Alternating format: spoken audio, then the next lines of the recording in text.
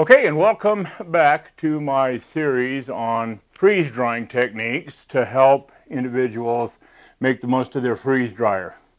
Now, to reiterate what I have discussed in the past, uh, if you're going to buy a freeze dryer, make sure you use it to its fullest advantage. Because if you put yourself in a dreamlike state, thinking that simply buying the freeze dryer is going to suddenly mean that you, with little or no effort, are going to have years and years worth of food, uh, in the case that we ever become Venezuelanized, you're just, you're kidding yourself, okay? Um, if you buy a freeze dryer based on the idea that a lot of internet folks will have you believe that all you got to do is, is, freeze dry something and, and, toss it into a bag and, and throw it on a shelf and in no time at all you're going to have a lot of food for times of want. And that's, you know, if, if you're going to think critically, you're going to have to understand that that's just not true. And if you invest anywhere between $2,500 and $4,000, depending upon the vacuum pump that you get, in a freeze dryer, you don't want to let it go the way of the exercise bike. And we all know the story of the exercise bike. There are tons of jokes out there about people who have exercise bikes in their bedroom that they're using as expensive um, kind of in the way coat hangers. And when they bought them, they paid attention to the athletic type uh, guy or gal on the machine, and they're looking at you and they're swinging back and forth, and, and they're trying to make you believe that that's going to be easy and that that's all they do to become healthy and strong. And, and it's not. These are professional athletes, these are professional gym rats, these are professional bodybuilders that get on there and convince you that buying this exercise machine in no time at all is going to have you looking like them, and we all know, you know, how that usually goes. For me, I've, I've done it actually a couple of times. I did it when they first came out with the Health Rider. And then I also bought a treadmill, and they're both gone now. And I never did, I never did use them to uh, accomplish what the people on the television had me believing was going to happen to me if I would just, you know, fork out that, uh, that 1,500 to $2,000, $3,000 for that, for that machine that I was going to put in my room, use for maybe a week, and then gradually taper off of and, and end up not using it at all. And unfortunately, that happens with freeze dryers too. They're expensive and people get all pie-eyed about them and they don't know uh, what they're getting into you really got to do your research. You really got to know that you're willing to do what's necessary. And because there's more investment than just the freeze dryer itself. The investment can be in the food also. And it can't all be leftover food because, face it, we don't have that much leftover food. If we just freeze dried and, and, tried to properly put away our freeze dried food, we wouldn't have enough to last us as long as we think we might um, it would take us years and years to put away enough food to last for just, just a few months, if that's all we did. So you've got to change your mindset, okay? What I like to do is I don't like to just freeze dry food. I, I use a freeze dryer as a tool uh, to an end. I don't use it as the source of the end because uh, a freeze dryer in and of itself isn't going to provide you with an end product. You have to provide you with an end product. And if you know how much money you spend every month on food, if your idea is to freeze dry enough food to last you six months to a year, uh, you're going to have to have a real plan. Okay, now I've, I've made um, uh, other videos about uh, food storage. I've been into food storage for a great, you know, a great long time, 35 plus years and I've been freeze drying for over two years now, so I have some experience. But I like to think critically. I like to think ahead. I like to, to ask myself, in the coming years, if I ever have to depend upon the food that I'm storing, what am I going to think back and wish I had done previously to prepare for that time? And so thinking critically again, that, that's basically what I've done. What you see here is an investment. This, none of this is leftovers. This is all food that I, I, purchased specifically for the purpose of freeze drying. And I'm going to make a number of these videos showing different ways that I prepare food. Now this food hasn't gone into the freeze dryer yet. This food has just come out of my freezer and I'm going to go through each tray and explain to you what each one is and why I prepared it the way that I prepared it.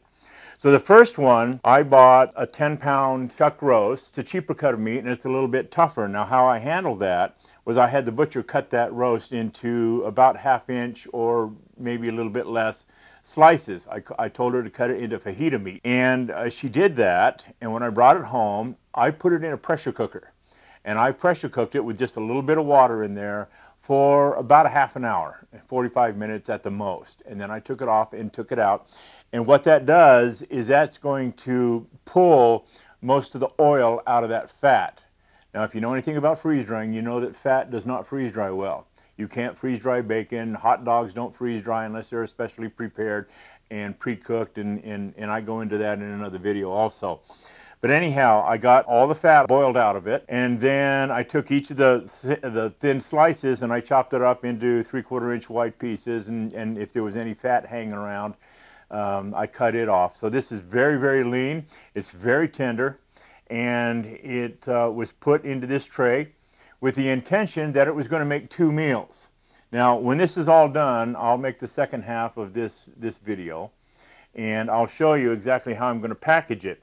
But the two meals that I'm going to use here is I like the Zatarain's product. This is jambalaya, and I've got two boxes of it. It's not real expensive.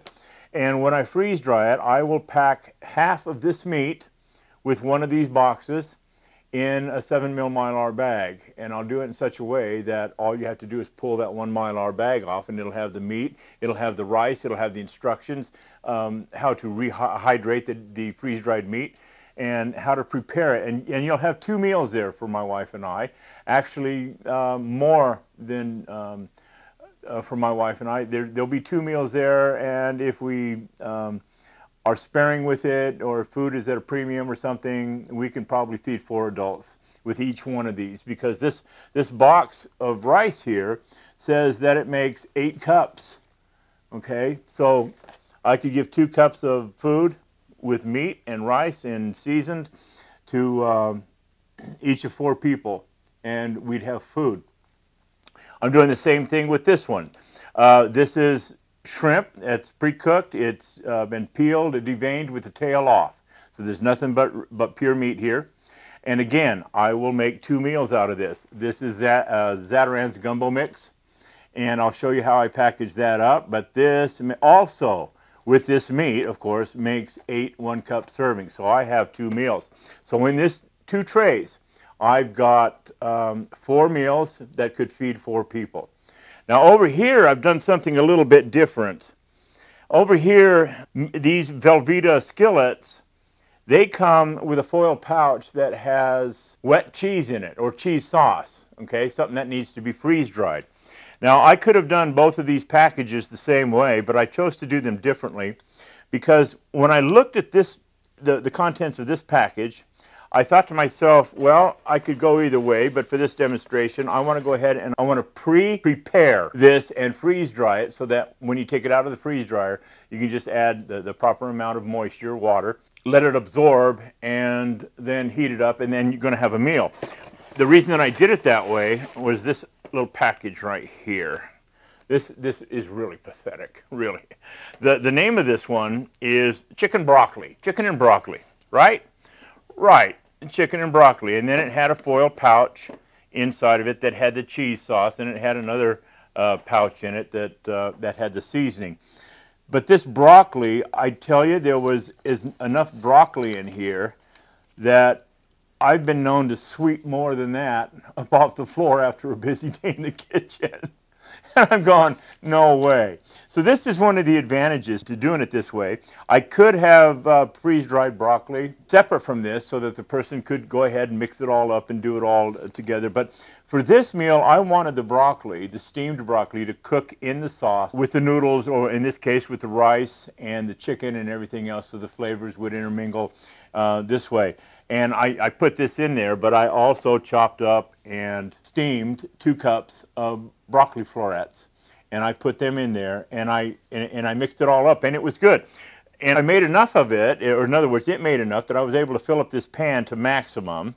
Uh, this is, you don't want to put any more than this. This is just barely above the level of the pan. But there was still one cup left over. So I ate it and it was good. But anyhow, so that's, that's why I've done that one there. Now, you don't always want to pre-cook your meals. What I've done here is you can see I've still got the noodles and I have still got the seasoning packet, both of them as a matter of fact. One of them has bacon in it and one of them has the, uh, the, the seasoning sauce. But that left what meat I was going to put in there, which is chicken, of course. There was chicken in this one too, but of course it was mixed in and cooked with it. This one, the chicken was put, uh, it, it, came in, a, I bought it in a bag, uh, pre-cooked, pre-sliced, and I just chopped it up a little bit, and I put it in the front end of this pan. But I still had that foil packet left over that, that I needed to freeze dry. I couldn't, I couldn't package it for long term while it was still wet, even in the foil packet. So what I did was I put down a layer of parchment paper and then I cut the corner off of that foil bag and I squeezed it out and you can see how it's been squeezed out here. But before I did that, I weighed it, and there were five ounces, and that's going to be important when I put the instructions in the bag so that I can tell the people how much water to put back in it, so you don't turn it into soup or you don't uh, you don't put too little or too much water in it. So I weighed it. There's five ounces of cheese there. Uh, meat, you don't have to worry about in the rehydration process. You just submerge it in water and it will not absorb more moisture than it needs. And then it'll just sit there and, and you can drain the water off and it'll be just fine. So with that, then I will package this in, in a bag, in its original bag, as a matter of fact. I'll show you when this is all done. It's going to be a couple of days. It's going to take a couple of days for this to get done. But this is going to be in one bag. This is going to be in um, a baggie Uh, with the instructions in there that you can put the water right in the bag and knead it around. Then these will be in there with a, a couple of holes poked in each one to maintain the vacuum. This will go into it. So this is going to be basically the same thing as this, okay? Only this one was cooked and prepared before it was freeze-dried, and this one is going to be cooked and prepared after it's freeze-dried. And that goes along with my belief that once something is dry, why do you want to cook it? Just to freeze dry it again. And that's what I did here, but I had reason to do it. If you don't have to cook something before you package it for long-term storage, and macaroni and spaghetti, noodles and stuff like that are, is a product that you really don't have to worry about. And I'll explain why there's an expiration date on there. It has, uh, it has nothing to do with the fact that this will last for 30 years if it's properly packaged. Fact of the matter is, they're not properly packaged for long-term storage in that, and I'll explain why later. I'm going to leave everything right here where it is. And through the magic of videography, I'm going to be back in about 60 hours, I think, probably between 55 and 60 hours. And it's only going to seem like maybe half a second to you. So with that, bingo. All right, it's been 56 hours since I put these trays into the freeze dryer and, and took them out and everything's been freeze dried very well and I have taken care of packaging and everything about halfway and left enough so I can show you exactly what I was doing. Now the first tray, which had the beef in it, you can see that I have packed um, half the beef with some of the Zatarain's. You can see the beef right here, and you can see the, the Zatarain's package right here, along with the um, oxygen absorber and instructions and, and everything else. So what you see that I have, I put the beef in a Ziploc bag along with an oxygen absorber inside of there. And this is what came out of the Zatarain's box. It's the jambalaya mix and it's just the rice and the seasonings and everything. But you'll notice if you squeeze on it a little bit, it's wanting to hold its air because it's completely sealed. So one of the things that I do with a bag like this is I'll poke a hole in it. And that way, when I go to vacuum pack the bag, it will seal tight. All right, along with that, I have taken the box and I've cut out the instructions, okay, on how to prepare the Zatarain's, along with my own set of instructions indicating that they need to rehydrate the meat first and then prepare the, the, the rice mixture with the meat as per the instructions on the box. And all that goes inside that package. And of course, like I said, it all looks like this. And when it's vacuum packed, that's really hard. That's, um, that's much harder than a food saver. Um, my wife and I have a food saver. She loves using her food saver for short-term storage, th putting things in the freezer, and she likes the fact that you can put the food saver bag right in the boiling water. But it is a much tighter vacuum pack than a food saver. The um, shrimp is the same way. I took the shrimp out. Uh, there's half the shrimp right there. Put it in a bag like this, and I make sure also that when this bag is sealed, I'll put one little tiny hole right up towards the top. Now what that'll do is that'll make it so that um, whoever's preparing this can still put water right in the bag to rehydrate the shrimp without it leaking out that very top and at the same time it makes it so that the bag will um, vacuum pack. Here's the uh, gumbo mix that came out of the box.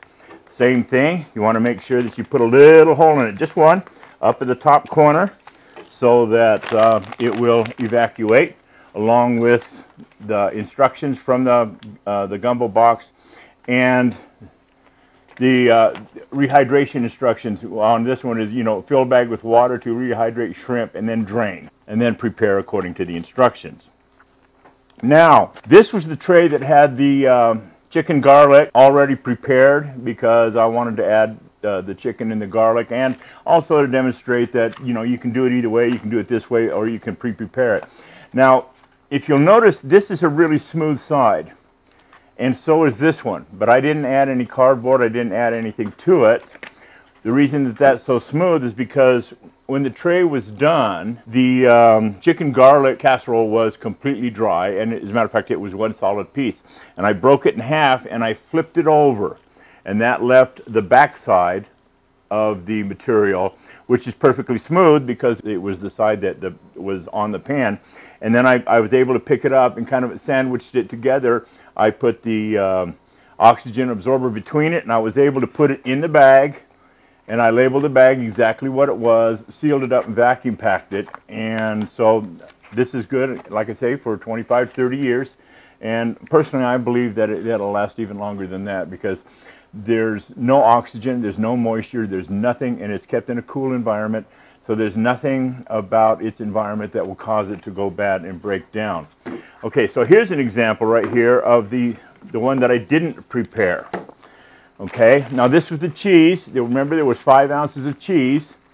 And when I weigh it here, it, was, it only weighs an ounce and a half. So that means it lost three and a half ounces of water. So I have it written right here to add three and a half ounces of water to this cheese right in the bag. Now this bag I'm not going to poke a hole into, but I'm also not going to seal up I'm not going to seal this up. I'm going to leave it in uh, unsealed so that uh, it'll draw a vacuum inside of there. But here we have the noodles and I think, again, you don't want the noodles to maintain oxygen inside when you vacuum pack it. So I poke a hole in there. That way the noodles will um, vacuum pack inside that bag. Then here are the instructions that come off the bag and how to prepare the noodles along with uh, specific instructions about the rehydrating um, this and this. Now I've got this inside this gallon plastic bag but I don't really need the plastic bag. I was just putting it in there as an extra layer of protection while I prepared for this video. Okay, so this is the original bag that that chicken came in. And I remember one day I was using one of these and I noticed that this is a really tough bag. It's really difficult to, to puncture or, or penetrate. And I thought, well, why not, after the chicken has been uh, freeze-dried, go ahead and put it back in the bag. So I turned this bag inside out, I washed it really good, and I let it dry really, really well. So it's absolutely dry. And now I've got this chicken. So I'm going to go ahead, oh, and here's the seasoning pack. And uh, incidentally, uh, before I had the, um, the chicken with bacon and cheese and everything, my wife wanted to use that for dinner. So I had to go down and I got the, um, uh, a different Velveeta uh, for this demonstration. So there's no, there, there, there's no um, uh, bacon pack here. But anyhow, this is the seasoning pack and everything, and then this is the bag. And I went ahead and refilled out the bag it says instructions enclosed. It's unprepared Velveeta chicken Alfredo with cooked chicken. And then I've dated it. So the first thing I'll do is I will take the chicken in the bag and I will tuck it into there. Sometimes it's going to be a little bit of a tight fit, but it will go in.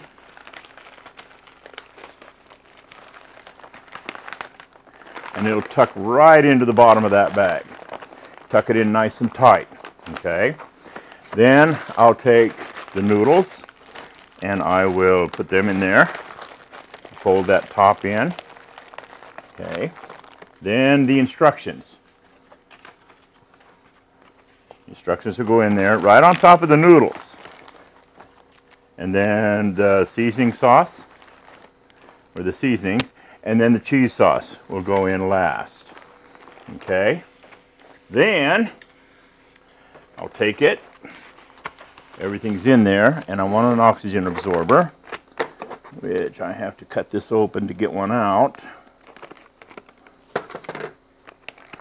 I'll toss another oxygen absorber into there. Now, the reason that you want to do that, even though I'm going to vacuum pack it, is even though I vacuum pack it, there's going to be a little bit of oxygen and air left in there, and I'm kind of a uh, fanatic about that. I, I, don't like to have any oxygen left in there. So even after I vacuum pack it, that oxygen absorber will kind of mop up any, um, any last little bit of oxygen that's left, and it will seal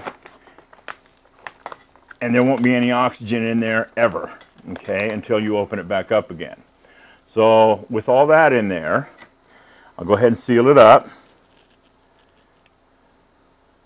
And again, Seal-a-Meal will not heat up hot enough to make a good seal on a bag, on a 7 mil mylar bag. It just won't. And not only that, but it won't pull a very good vacuum on it. So I really insist on using that impulse sealer. Now, vacuum packing it, I, I, have another video that shows you exactly what's going on here, but I'll cut this corner off just so, so that I have a little tiny opening there. And then I have my vacuum packing needle all set to go, and I'll stick that in that little tiny opening. Sometimes you have to poke at it a couple of times and then make sure I'm not poking it through the bottom. But um, I'll stick that. It'll go in all the way. Now you can see that that's poked inside the bag. I'll turn on the vacuum packer. And you'll watch this bag begin to vacuum pack. And admittedly, I have to leave it in there about 30 seconds. Okay, so that it gets a very, very tight vacuum. Because just when you think that it's not shrinking anymore, there's going to be more, more air in there. You want uh, to evacuate 100% of the air or at least 98% of the air that's inside of there and then let that oxygen absorber mop up the rest of the oxygen so that you get the maximum seal that you can get inside the bag so it will last the longest. And then again, okay, that feels really good.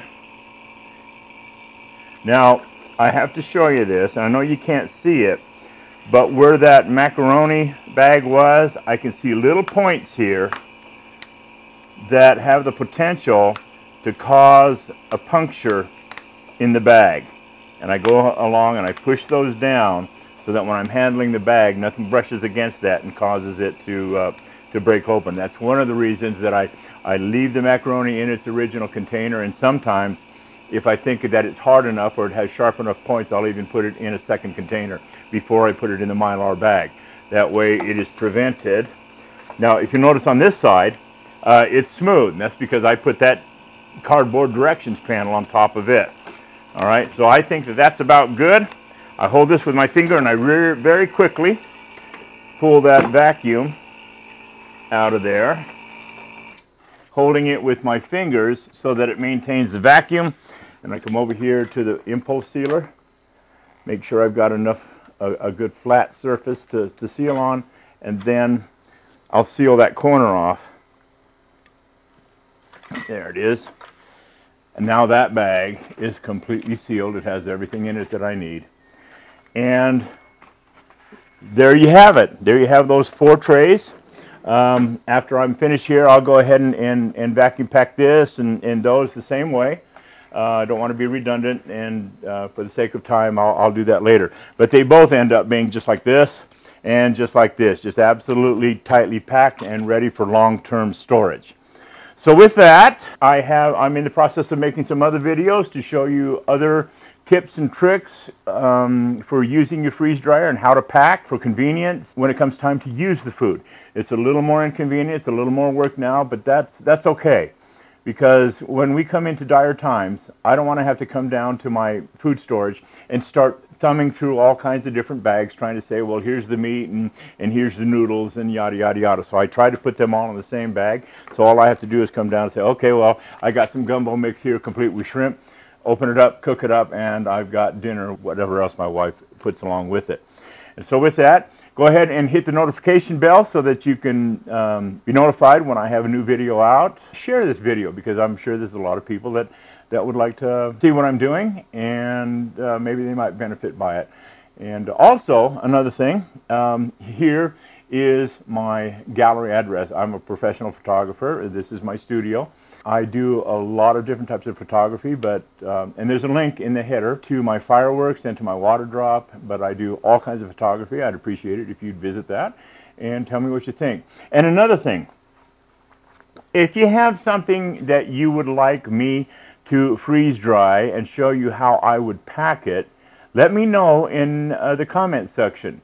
And if it's something that I can do, I, I will do it and I will let you know that I have chosen your suggestion for freeze drying to see exactly how to do it and how I would pack it uh, for long-term storage. So with that, I'm Evan Rowell and this is Critical Thinking.